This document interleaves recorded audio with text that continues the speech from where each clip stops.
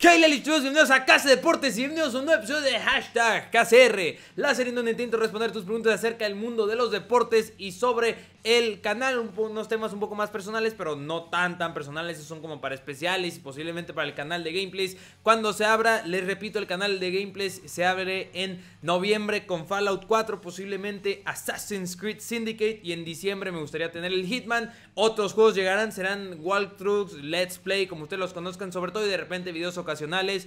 Eh, ya he dicho cuáles son como mis inspiraciones y si quieren saber más sobre este canal lo pueden preguntar en hashtag KCR y también mi recomendación para que aparezcas en el hashtag KCR la siguiente semana es que utilices primero el hashtag KCR porque muchos no lo utilizan y esos comentarios no los tomo en cuenta para los episodios de KCR y comentes temas de la actualidad que estén como eh, un boom, sobre todo si algo sucedió ese día, ve inmediato al video, aunque sea jueves, ve al video del sábado y comenta porque los videos hago la recopilación o los jueves en la noche o los viernes en la mañana. Y sin más preámbulos, vamos a las preguntas. Caso Mapping, hashtag KCR. ¿Qué opinas sobre el desenlace del culebrón de De Gea? Así como mi opinión es que me hará mucha risa, ¿no? O sea, ¿cómo podemos hacer bromas de eso? Hasta si estás en la escuela y, ay, si el Real Madrid y el Manchester United entregan tarde su tarea, ¿por qué yo no?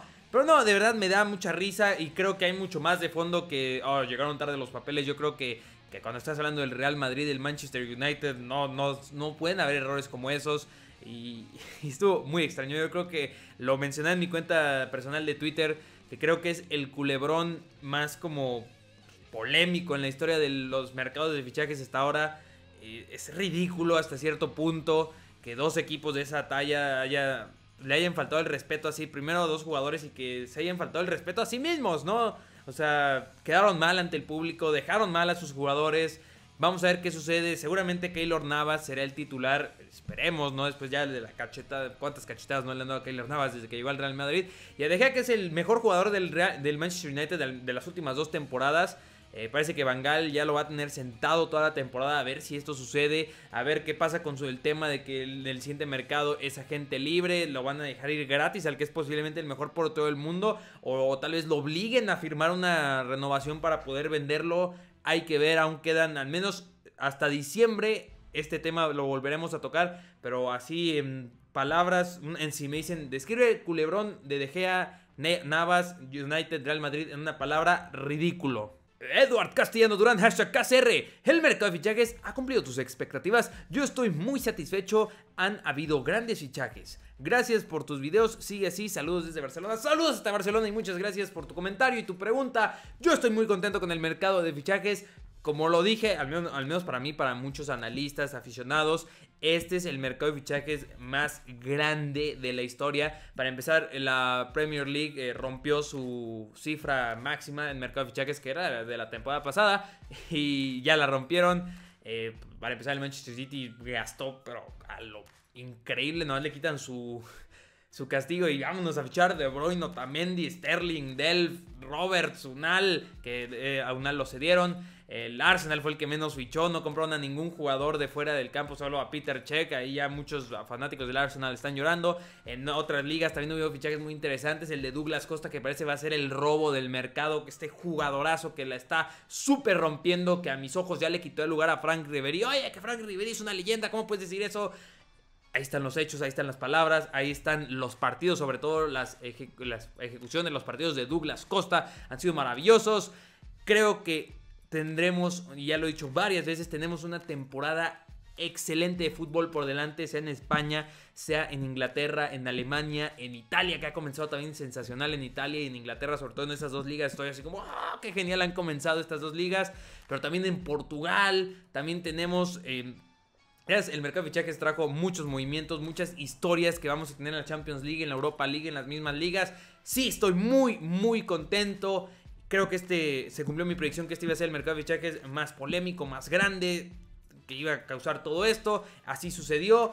Ya tenemos que ver cómo se desarrolla esta temporada para ver qué sucederá en el siguiente, porque les puedo adelantar que en la Premier League entra un nuevo contrato de televisora, un nuevo contrato televisivo en la Premier League que va a significar muchos millones de libras para todos los equipos en la liga. O sea que no se sorprendan que haya más fichajes como Salomón Rondón, como Sherdan Shakiri en la Premier League. Vamos a ver qué sucede en las demás. Eric López, hashtag KCR, es cierto lo de la tarjeta verde. Saludos, crack, saludos. Sí es cierto, se va a hacer este experimento en la Serie B italiana donde se va a premiar el fair play. se me hace extraño que preguntes como es cierto. Es cierto, eh, es algo extraño, a mí se me hace algo como innecesario. Es una tarjeta verde, toma, es muy buen chico.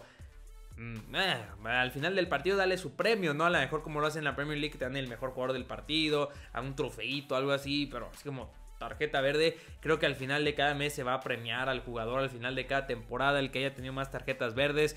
Pero, ¿cómo? ¿Qué les dan a premiar? ¿Le dan un carro, dinero? A mí me parece algo innecesario. Obviamente, el fair play es algo muy importante.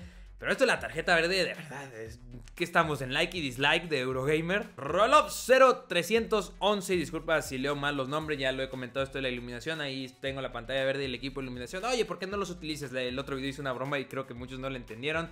Eh, los voy a utilizar cuando comience esta nueva temporada de videojuegos FIFA 16, PS 16, WWE 2K16, NBA 2K16, ¿cuántos 16? Ya lo he dicho varias veces. Es así como una sorpresa y obviamente he estado haciendo pruebas para ver dónde me voy a colocar, todo este sentido. Pero bueno, la pregunta, Carlos, ¿opinas que la Juve seguirá su supremacía en Italia? ¿O equipos como la Roma, Lazio, Napoli le darán cara este año? Y se te olvidó mencionar al Inter, que creo que es el que mucha pelea le puede dar. Eh, a mí me gustaría que no siguiera. O sea, a mí me gusta que en todas las ligas haya esta alternancia, esta competencia de que no sea un dominio como en la Bayern Liga o la Juve Liga, que se den mucho estas sorpresas de equipos chicos pegándole a los grandes. Em, pero creo que la Juve tiene un muy buen plantel. sí, ya lo he dicho, no tiene a Vidal, no tiene a Tevez, no tiene a Pirlo. Eh, pero tienen muy buenos jugadores. John Hernández, que me parece un mediocampista muy completo. Lemina, que es como el hermano gemelo de Paul Pogba. Al menos solo como se ve. Eh, Paul Pogba va a pasar mucho cómo le vaya la temporada en la Juve. Eh, cómo le vaya Paul Pogba con esa presión de que él es el mejor jugador del equipo. Él es el 10 del equipo. ya se comentaba que en los primeros partidos se le ha visto mucha presión a Paul Pogba. Vamos a ver si puede cargar con esto. Eh, porque es muy complicado ser la figura de un equipo. No sé si tú tengas un equipo así con, en tu casa, con tus amigos. Cuando eres el mejor jugador del equipo y te toca jugar contra alguien muy, muy bueno, eh, sientes hasta presión, ¿no? Sabes que eres el mejor y tienes que ser aún mejor que todos los días y jalar a tu equipo hacia adelante es complicado, es muy complicado. Muchos rompen ante esa presión. Vamos a ver a Paul Pogba, vamos a ver de qué está hecho en la actitud, al menos esta temporada, y lo que le significaría su pase. yo creo que al Barcelona va a ser su fichaje. Pero equipos como la Roma que traen un equipazo línea por línea se armaron para las tres competencias que tienen. El fichaje de Edin Checo es sensacional. Y el medio campo que tienen es exquisito. Otra vez se lesionó Strutman. Qué lástima con eso. El Inter a mí se me hace que es uno de los mejores equipos que se armaron esta temporada. Me encanta el fichaje de Jovetic. Que ya la está rompiendo desde el día 1 con Dogbia, Murillo, eh, Alex Telles, Felipe Melo. En todas las líneas trajeron uno o dos jugadores y de muy buena calidad. Así que Inter, Roma, Lazio te lo puedo discutir un poco porque no los veo tan fuertes, aunque Felipe Anderson es un jugadorazo y sí puede cargar con el equipo, ya lo demostró la temporada pasada. Creo que les faltó fichar un 9 porque solo tienen a Klose que está lesionado y a Georgievich que también está lesionado. Y Milan fichó bien, pero tengo mis dudas con el Milan. Vamos a ver qué hace Mihailovic. Y el otro equipo que mencionas es em, Napoli. Uy, el Napoli sí se la veo muy, muy complicada vamos a ver, tienen buen platel, tienen un buen técnico, hicieron fichajes decentes, no voy a decir que muy buenos, pero creo que este año no hice predicción de la Serie pero creo que la liga se va para la Roma, en segunda instancia la Juve o tercera instancia el Inter. Oyanale. Hashtag ¿qué opinas de la vuelta de los Dudley Boys a la WWE? Me gusta que refuercen eh, esta categoría de los tag team que pienso que lo han hecho bien los últimos meses, que puede mejorar muchísimo, que creo que le podrían dar un poco más de importancia, tal vez dándoles eh, storylines, así se les dice, historias, eh, un poco menos como cheesy, en inglés es como... Ah, pues no, no, sabía cómo decirlo eso. Es un buen refuerzo a la categoría de parejas. Pero creo que aún puede mejorar muchísimo. Ha mejorado muchísimo, eso sí, eso sí lo reconozco y los Dudley Boys van a ayudar en eso. Pero me gustaría ver que eh, tal vez gente de talla como John Cena tuviera un tag team y de repente estuviera entre una historia como individual y una entre parejas. Que hubiera más tag teams, ¿no? Que no solo fueran, son como 5 o 6 con los Dudley Boys. que tal vez fueran como que todos tuvieran un equipo y ya tuvieran estas como dos historias, ¿no? No sé si luchar dos veces eh, eh, por programa, pero está Raw y SmackDown, así que pueden ahí hacer muchas cosas, hay mucho talento. Pero sí, los Dudley Boys me gustan mucho, son leyendas de la WWE. Se dice que con la vuelta de los Dudley Boys esto podría acercar cada vez más el regreso de Jeff Hardy. Matt Hardy no lo sé, pero podría ser también. Eh, no sé si eso se llega a dar o si son solo rumores, porque se habla de una relación rota entre WWE y los hermanos Hardy. Pero son especulaciones, especulaciones. Nora, hashtag KCR. La pregunta completa, ¿crees? No la voy a leer toda porque de por sí ya me he extendido un poco más de lo que quería. Eh, básicamente está preguntando que si Bangal, la actitud de, de Bangal ha afectado jugadores. Da ejemplos de jugadores que se han visto afectados por Bangal en el presente y en el pasado reciente o pasado un poco menos reciente. Y definitivamente Bangal a mí es un técnico que yo les dije desde el día 1, Bangal no me gusta. Muchos me decían, estás equivocado. Hizo un gran trabajo con Holanda, se les olvidaba lo que había hecho antes y con este tema que ha tenido con los jugadores.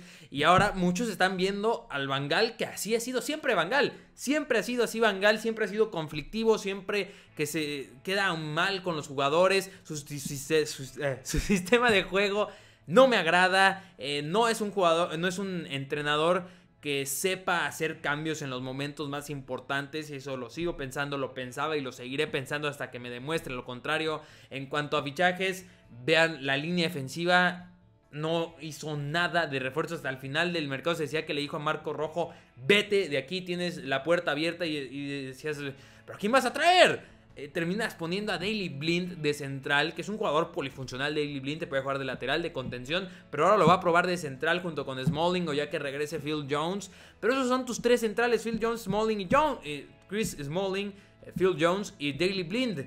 No, no son, no son Otamendi, no son Sergio Ramos, que estuvieron vinculados, no son Max Hummels. Es Bangal, un técnico conflictivo que a la larga queda mal con los jugadores, que a la larga termina yéndose el equipo Pregúntenle a los aficionados del Manchester United que se están diciendo, estás destruyendo al Manchester y yo creo que sí está destruyendo, no al equipo porque puede ganar la liga, yo sigo pensando que con los equipos que hicieron de medio campo en adelante son un equipo que puede ganar la liga, pero, pero, repito, está destruyendo esta institución, la, la filosofía del Manchester United. Ferguson lo dijo en el 2012, si no me equivoco, pagar más de, creo que de 30 millones por un jugador de 18 y 19 años es una locura que yo nunca haría. Dos, tres años después, Bangal paga de entre 50 a 80 millones de euros por Anthony Marshall de 19 años de edad. Roberto 3615 Montoya, hashtag KCR. ¿Cómo crees que le va a ir a Javier el Chicharito Hernández en el Leverkusen? Saludos, crack. Eh, yo creo que le va a ir bien porque está arropado por jugadores de calidad como Hakan Chalanoglu, Karim Belarabi, Lars Bender, cuando regrese Charles Aranguis, que será posiblemente hasta febrero, pero igual creo que le va a ayudar muchísimo a Hernández, va a aprender muchísimo de Kisling y la competencia con Kisling le va a ayudar a estos dos jugadores. Mehmedi, muchos pensaban que él es un poco más 9 de área, pero él juega más por la banda de la izquierda, que está supliendo, supliendo un poco más la salida de Hyun Min Son. También está Kevin Campbell, tienen muy buen plantel pero sobre todo tienen un estilo de juego que le favorece bastante al Chicharito Hernández. Roger Smith creo que es un técnico que trabaja muy bien con los jóvenes. Sí, Javier Hernández no es el más joven del eh, plantel, en realidad es de los más veteranos del equipo. Es el segundo equipo con la media de edad más pequeña, si se puede decir así, en la Bundesliga. Y el Chicharito Hernández va a traer veteranía, va a traer buenos, buenos goles. Sabemos que es un 9 de área, un killer. Y, y repito, cuando se asocie con Hakan Chalanoglu y Karim Belarabi van a tener en el Bayer Leverkusen no al campeón de la Bundesliga, lo veo muy complicado, pero posiblemente un equipo que como lo dije en mi previa, que va a estar compitiendo por el segundo o tercer lugar esta temporada en la Bundesliga. Jorge Tobar, hashtag KCR, si no fueras comentarista deportivo o jugador de fútbol, no, no soy jugador de fútbol viejo, eh, ¿qué serías? Por favor, los hashtags. Em, si no fuera comentarista deportivo, porque jugador de fútbol no lo soy, eh, yo decidí, y eso es algo que tengo muy muy claro, dedicarle mi vida a los deportes de una u otra manera. La que más me gustaría, con la que más sueño desde pequeño, que es mi meta, ser un comentarista deportivo analista. Pero también he pensado en lo que es eh, manejar desde atrás eh, los deportes, ya sea en programas de televisión, así como productor o ese tipo de cosas, o como presidente deportivo de algún equipo, algo por el estilo, si me entienden, eh, me gustaría estudiar en algún momento de mi vida la maestría que se conoce como Sports Management, en, está en Estados Unidos, así seguro que he checado algunas universidades que es manejar todo, todo lo que es en los deportes, obviamente yo he enfocado en fútbol de preferencia, eh, o básquetbol también es lo que me gustaría, o cualquier tipo de deporte, ser eh, algún director de comunicación, eh, presidente deportivo es algo complicado, pero se podría lograr. Es como también eso me gustaría, si lograra todo esto, también me gustaría tener algún como bar dedicado a los deportes, cosas así. Me gustaría en un restaurante que los martes y miércoles hubiera promociones de Champions League, que los fines de semana se tuvieran varias teles y se estuviera pasando la Serie A, la Bundesliga, la, Premier League. Me gustaría eso, pero mi sueño, mi meta número uno es comentarista deportivo, analista, periodismo deportivo. Raúl Rucó, hashtag KCR, ¿qué opinas sobre la desaparición del Parma? Si no pones ninguna de tiro con arco, tendré que hacer de fútbol. Ahora que te escogí no pusiste tiro con arco, ¿eh? Y me hubiera gustado responderte algo de tiro con arco porque no sé mucho, pero me hubieras obligado a estudiar un poco de qué era tu pregunta y todo eso. Pero bueno, qué curioso, ¿no? Que ahora que hablas de fútbol, Parma desapareció, ya lo he dicho que es muy triste que desaparezca un equipo por pues, en, la, administrativo, de esta forma, que se hayan, pero ya reaparecieron como Parma Calcio, en un proyecto que trae este exjugador, que es Lucarelli, si no me equivoco. Hay un, les voy a recomendar este documental de un canal que a mí me gusta mucho en inglés, para los que sepan inglés y les gusten los documentales de fútbol. En Copa 90, Copa 90, eh, está este documental de la reaparición del resurgimiento del Parma, que están trabajando desde inferiores, que es un proyecto con corazón Acá a mí me llama muchísimo la atención y, ojalá se llegue a, tal vez en, que en unos 10 años posiblemente o menos o más, volvamos a hablar del Parma en la primera división. Y la última pregunta que viene muy ligada a la anterior, anterior a la del cuate de los del Santos, es Solank Front. No alcanzo a leer tu nombre, pero veo que le vas a los Giants. Eh, hashtag ACR, ¿en qué equipo te gustaría ser director deportivo, decir fichajes y ventas. Es algo que les decía que me gustaría hacer si no fuera comentarista deportivo. Y, no sé si te refieres a fútbol o a béisbol. Eh, seguramente en béisbol no me gustaría hacer porque, repito, no sé mucho de béisbol. Me gusta mucho el béisbol, pero mis conocimientos son un poco así arribita de lo básico. Pero ahí seguramente tendría alguien, ¿no? Como mi lacayo de, oye, ayúdame viejo. Eh, en básquetbol me gustaría bastante obviamente el Miami Heat, que es mi equipo preferido, pero si no fuera del Miami Heat, de los Milwaukee Bucks, no pregunten por qué me gustan los Milwaukee Bucks o los Portland Trail Blazers. En el americano, los Raiders definitivamente, que también tendría alguien que me ayudara. Y en el fútbol es algo mucho más complicado. Obviamente los Pumas, Chelsea, yo creo que estos quedan omitidos. Pero me gustaría bastante del Southampton. Me, gustaría mucho el Southampton en proyectos como los del Southampton. El Nottingham Forest, ¿por qué no? El Nottingham Forest, de ahí intentar hacer algo como lo que hicimos en la serie. O también me gustaría en un equipo que muchos posiblemente se sorprendan, pero en el Basel de Suiza, sí, el equipo obviamente es el más famoso de Suiza, pero es un país hermoso, es un equipo con mucha historia, su proyecto también de traer jugadores de la cantera o traer jugadores de eh, extranjeros pero que no muchos apuestan por ellos y formarlos en sus fuerzas básicas. También estaría genial el Basel, o tal vez en Italia, en, en cualquier equipo de Italia. Me gustaría, yo creo que más específicamente en la Juve o en el Torino. Estaría genial. Y eso es todo por este video. Hashtag KCR. Si me acerqué demasiado al micrófono y soné muy fuerte, disculpe. No olviden seguirme en mis redes sociales, en Twitter y en Facebook para estar enterado de toda la actividad del canal y poder contactarme de forma más directa en los comentarios. No olviden dejar su pregunta para el siguiente hashtag KCR. Las recomendaciones ya están al principio de los videos y en otros videos, así que estén atentos a los eventos deportivos si quieren aparecer en hashtag KCR. Por ejemplo, estamos en fecha FIFA, también está la FIBA de las Américas de baloncesto, que está muy interesante, nadie preguntó de eso. Regresa la NFL, que no sé si lo alcance a tomar para el siguiente hashtag KCR, creo que no, eso sería hasta el siguiente porque ya el siguiente fin de semana prácticamente es NFL. Estén muy atentos a eso. También ya muy pronto regresará la NBA. Están las preguntas del canal. De pronto el canal de gameplay. Ya les dije un poco qué está planeado. Lo de la pantalla verde, la iluminación. Estos días va a ser serie con Nottingham Forest. Para cerrarla está preparado a un final muy muy especial. Llegan los nuevos videojuegos. Case Deportes llega casi a 25 mil suscriptores. Y les repito, reitero y siempre lo seguiré diciendo, vienen las mejores cosas para este canal por ustedes, para ustedes, y leales ustedes ya saben que estoy eternamente agradecido. Y no olviden comer frutas y verduras. Ahí nos olemos.